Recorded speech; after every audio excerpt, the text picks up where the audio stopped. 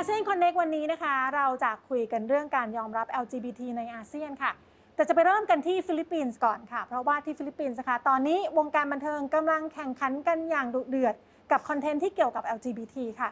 ถ้าเกิดว่าเป็นคนที่ชอบดูเรื่องราวเกี่ยวกับ drag queen นะคะ ก็คงจะแน่นอนรู้จักรูพอลของสหรัฐค่ะ ตอนนี้รูพอลเนี่ยนะคะ นอกจากจะมีรายการเขาไปเปิดในหลายประเทศแล้ว ล่าสุดประกาศ รับผู้เข้าร่วมแข่งขันในฟิลิปปินส์ค่ะ RuPaul's Drag Race นะคะก็บอกว่าตอนนี้จะมาเปิดที่ฟิลิปปินส์แล้วนะคะ บนแพลตฟอร์มที่เรียกว่า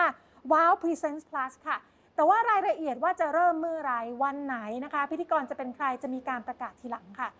นอกจากของรูพอลแล้วนะคะ ที่บอกว่าตอนนี้การแข่งขันกำลังดุเดือด เพราะว่าก็มี drag queen อีกคนหนึ่งที่เป็น drag queen ชื่อดังของฟิลิปปินส์นะคะที่ชื่อว่ามานิลาลูซอนค่ะเธอเนี่ยเคยไปแข่งในเอ่อ drag race ของรูพอมาด้วยนะคะ แต่งานนี้เธอบอกว่าเธอจะประกาศเรียกคนเข้ามาร่วม drag den ฟิลิปปินส์ซึ่งเป็นรายการเรียลิตี้ที่เธอจะเป็นผู้ดำเนินรายการเองนะคะ แล้วก็จะผลิตโดยบริษัทโปรดักชันในฟิลิปปินส์ค่ะ ผู้เข้าแข่งขันนะเธอบอกว่าต้องอายุ 18 ปีขึ้นไป มีทักษะการแต่งหน้าดีเลิศบุคลิกดีความปรารถนาที่จะมีชีวิตใหม่ที่น่าตื่นเต้น แล้วก็ประกาศว่าเปิดออดิชั่นแล้วจนถึงสิ้นเดือนนี้ค่ะ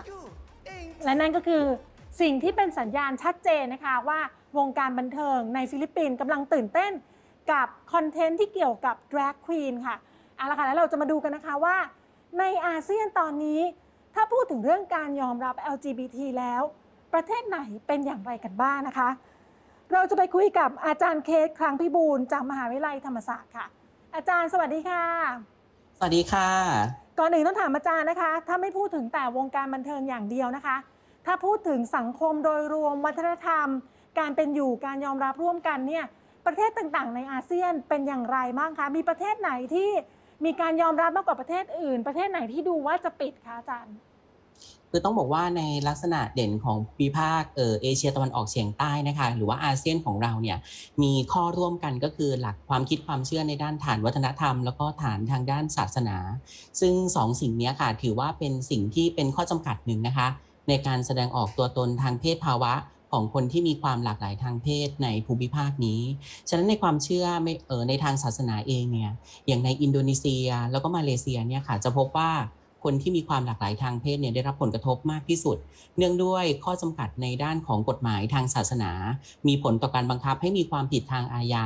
ในการนำเสนออัตลักษณ์ทางเพศของตนเองค่ะค่ะ นอกจากนี้นะคะอย่างในบรูไนเนี่ยเราก็ไม่ต้องพูดถึงเลยนะคะว่ามีความเข้มข้นในการใช้กฎหมายศาสนาเนี่ยสูงมาก สิ่งหนึ่งที่เห็นร่วมกันก็คือว่ามันมีการลงโทษ ฉะนั้นการลงโทษหรือการถูกทำให้ผิดกฎหมายในทางอาญาเนี่ยใน 3 ประเทศเนี้ยยังคงมีอยู่ค่ะค่ะ แล้วไอ้การที่มันมีการประกวดหรือรายการ drag queen ในฟิลิปปินส์เนี่ยมันเป็นสัญญาณไหมคะอาจารย์ว่ามีความตื่นตัวเริ่มมีการยอมรับมากขึ้นในสังคม หรือว่าฟิลิปปินส์เนี่ยเขาเป็นอย่างนี้อยู่แล้ว มีการเปิดรับมากอยู่แล้ว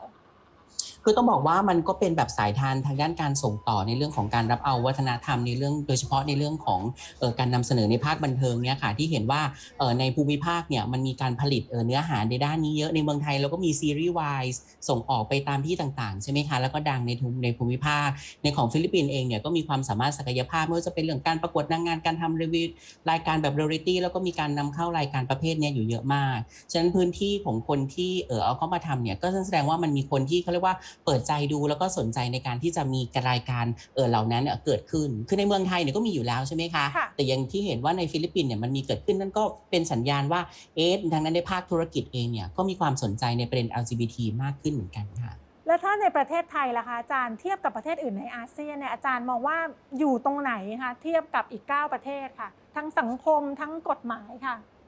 จริงๆ ถ้าดูในข้อมูลในส่วนของการรวบรวมรายงานที่เป็นเรื่องของออการแสดงออกตัวตนทางเพศภาวะ แล้วก็เพศวิถีในภูมิภาคอาเซียนเนี่ยนะคะ รายงานนี้เนี่ยก็เป็นการรวบรวมกันของภาคประชาชน แล้วก็นักสิทธิมนุษยชน ทางด้านสิทธิออทางด้านสิทธิความหลากหลายทางเพศ สิ่งหนึ่งนะคะก็พบว่าออในประเทศไทยเนี่ยค่ะ ถ้าเปรียบเทียบกันเนี่ยถือว่าเออมีความเออที่เขาเรียกว่าเออนำหน้าอยู่หน่อยนึงในเรื่องของการที่มีกฎหมาย อย่างเช่นในบ้านเรานะคะ ก็มีกฎหมายในเรื่องของเออการกฎหมายส่งเสริมความเสมอภาคระหว่างเพศเนี่ยค่ะมี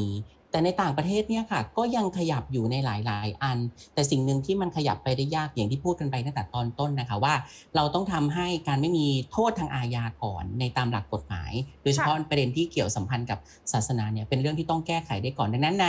ฟิลิปปินส์เองเนี่ยนะคะในมาเลเซีย ในอินโดนีเซียเนี่ยค่ะเออยังมีในเรื่องของการบังคับใช้หลักความคิดความเชื่อทางศาสนา ในการที่จะต่อต้านความเป็นหลากหลายทางเพศอยู่ค่ะค่ะ อาจารย์วันนี้ต้องขอขอบคุณอาจารย์มากนะคะ ที่มาคุยกันเรื่องการยอมรับ LGBT ในอาเซียนวันนี้ค่ะ ขอบพระคุณค่ะ ขอบคุณค่ะ และอย่างที่อาจารย์เคทบอกนะคะ ว่าส่วนใหญ่ก็จะเป็นปัญหาเรื่องความเชื่อทางศาสนา เรื่องเกี่ยวกับกฎหมายนะคะ แต่อย่างที่เห็นค่ะว่าอย่างในฟิลิปปินส์เนี่ยการรับเอาวัฒนธรรมตะวันตกเข้ามา เกี่ยวกับเรื่องคอนเทนต์ให้ความบันเทิงเนี่ยก็ทำให้คนเปิดใจยอมรับมากขึ้นนะคะ และนั่นก็คือทั้งหมดในอาเซียน connect วันนี้ค่ะ